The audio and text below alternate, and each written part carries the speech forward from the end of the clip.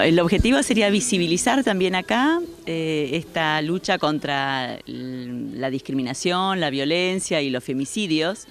Eh, y bueno, parte también porque en nuestra universidad, en la UNICEN, existe un protocolo de actuación contra esto que derivó en un programa para la sensibilización este, de la temática, la formación continua.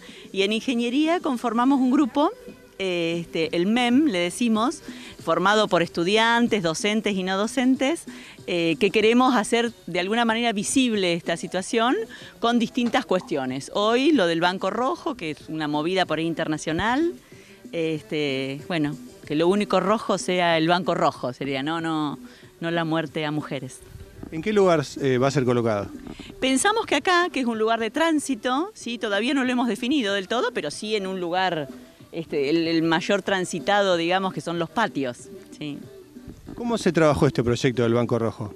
Lo trabajamos, en realidad nos, reunimos bastante seguido, estamos en conversación continua nosotras y teníamos ganas de hacer la instalación ya desde el año pasado. Eh, pero bueno, después hicimos otras instalaciones y otras intervenciones eh, este, y nos pareció oportuno la movida ahora. Eh, también por el Consejo Deliberante este, ha decidido esta movida en, la ciudad para que en cada institución se haga eco y poder visibilizar más. Así que bueno, lo, vimos oportuno hacerlo así como para que va, a llevar una leyenda también este, contra el femicidio eh, para que la gente, bueno, mm, se pare y, haga como una posta en su, en su camino diario eh, y recuerde que esto existe y no debería existir.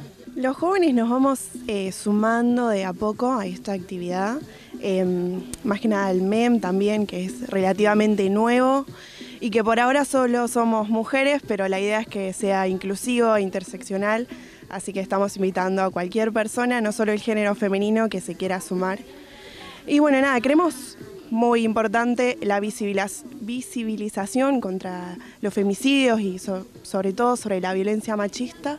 Nuestro interés es empezar a concientizar a la sociedad hoy por hoy nos toca el pequeño grano de arena, que es la comunidad universitaria, empezar a concientizarla acerca de estos casos, de que no lleguen a extremos tan altos, de que nosotras nos percatemos en qué situación estamos con nuestras parejas, con nuestros compañeros y que, que los varones aquel que ejerza violencia machista eh, haga un análisis, se deconstruya y pueda accionar correctamente y vivir en sociedad un poco mejor.